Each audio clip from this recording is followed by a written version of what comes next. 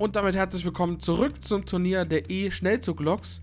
Heute ist Gruppe B dran und das sind hier nochmal alle Teilnehmer im Turnier. Heute wie gesagt Gruppe B und dann schauen wir uns die Teilnehmer mal ein bisschen genauer an.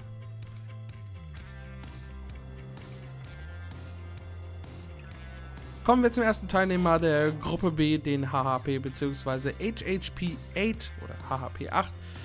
Die eine Lok aus den USA mit 600 kW, das sind ca. 8100 PS und 250 Kilonewton Zugstärke. Die Lok wiegt 100 Tonnen, wurde ab dem Jahr 2010 gebaut und fährt 200 km/h in der Spitze. Die zweite Lok im Rennen ist die CFL 4006 aus Luxemburg.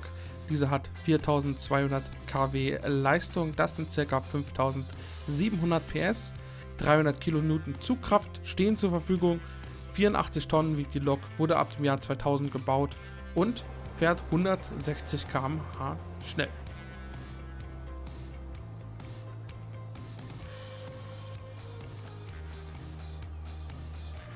Kommen wir jetzt zum ersten deutschen Teilnehmer dieses Turniers. Das ist die BR 120, in Realität gerade frisch ausgemustert. Diese hat 6500 Kilowatt Leistung, das sind ca. 7600 PS.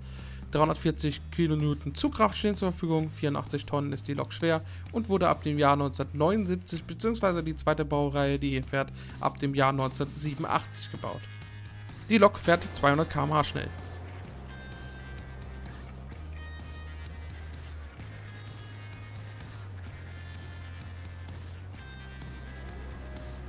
Und als vierter Teilnehmer ist hier die ÖBB 1116 aus Österreich. 6400 Kilowatt stehen zur Verfügung. Das sind circa 8700 PS. Die Lok hat 300 Kilonewton Zugkraft, wiegt 86 Tonnen und wurde ab dem Jahr 2000 gebaut. Sie fährt 230 km/h schnell, was aufgrund der Wagen aber nicht möglich ist.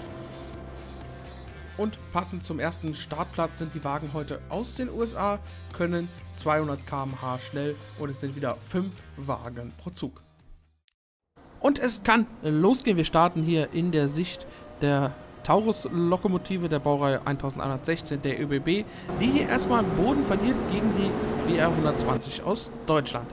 Hier, das ist der Start nochmal, die BR 120 in Führung, dahinter Taurus, dahinter CFL und als letztes die Lok aus den USA, die HHP 8. Auch die USA gewinnt jetzt hier gegen Luxemburg. Die HHP oder HHP 8 ist jetzt auf Rang 3. Und der Taurus zieht weg. Der hat genug Power, um auch hier die BR 120 ähm, hinter sich zu lassen. So sieht es im Moment aus. Und hier nochmal eine Sicht von einem Bahnübergang. Sehr schön. Man sieht Taurus in Führung, dahinter B120, dann HHP 8 oder HHP 8 und dann Luxemburg mit der 4006. Ich denke, die Reihenfolge wird sich jetzt nicht mehr groß verändern, beziehungsweise vielleicht kann USA noch aufholen. Wir sehen, sie kommen ja, ungefähr gleiche Geschwindigkeit im Moment zwischen der HHP 8 und der BR 120.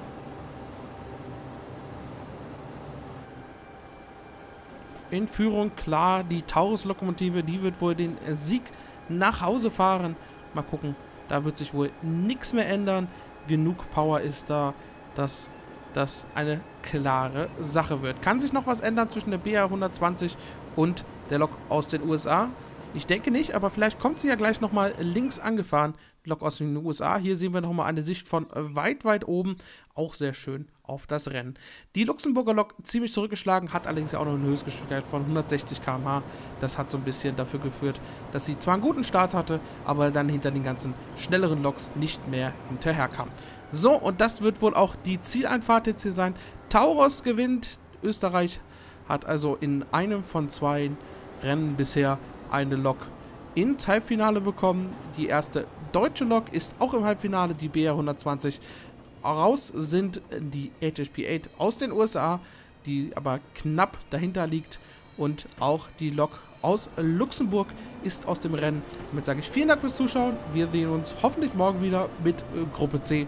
Macht's gut und tschüss.